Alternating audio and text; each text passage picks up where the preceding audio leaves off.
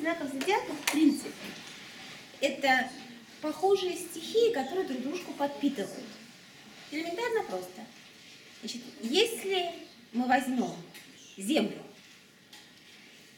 земные знаки – это Телец, это Козерог и Дева. То есть это такие материальные, земные, устойчивые знаки. Это знак Земли. Какая стихия делает Земле хорошо? Конечно. Значит, соответственно, идеально они совместимы с водными знаками. То есть это у нас рак, это у нас скорпион и рыбки. Да. Соответственно, также хорошо совместимы огонь с кем?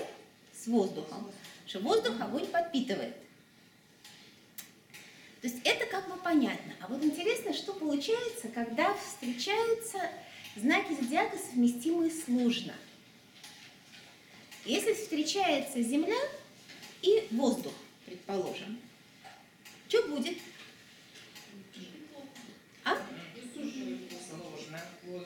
Кому? Нет. Земле сложно. Сложно будет Земле, потому что воздух ему устроит такие ураганы, воздух ему устроит суховеи.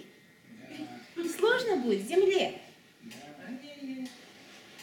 Если встречаются вода и воздух, кому будет сложно? Никому не будет сложно, они просто не будут соприкасаться.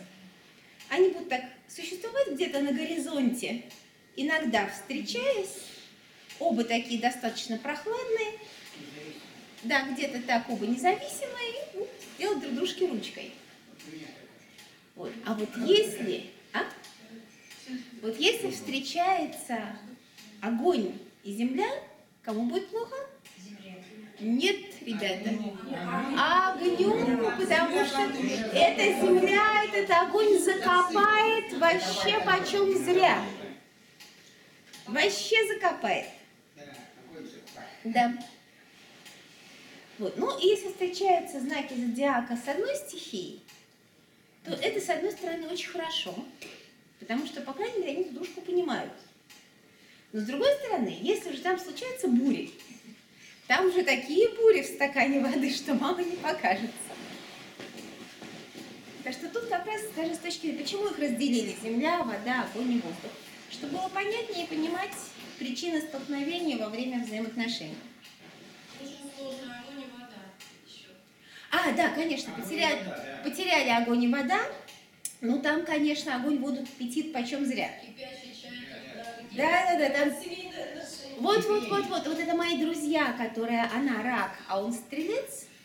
Эта похлебка бурлит непрерывно. Они уже сколько лет, 10 вместе, и там они все время бурлят. Там все время идет фарс. Совершенно верно. Брыж- брыжут оба, причем, во- причем во все стороны. По-моему, там уже не вода, а кипящее масло получается. Очень друг дружку любят, очень во многом подходит. Окей. Еще вопросы есть по совместимости? Хорошо.